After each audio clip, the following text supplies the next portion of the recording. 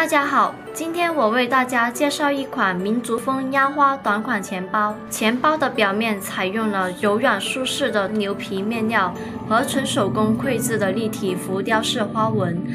侧面暗扣打开之后，可以看到钱包内里采用的是荔枝纹的头层牛皮的面料，手感非常细腻。钱包有七个银行卡位，钱包侧面有一个大钞位。可以放大约三千元的现金。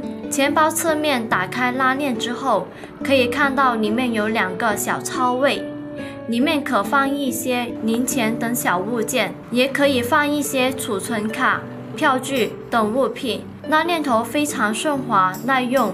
这款小钱包有多个花纹可以挑选，你喜欢哪款呢？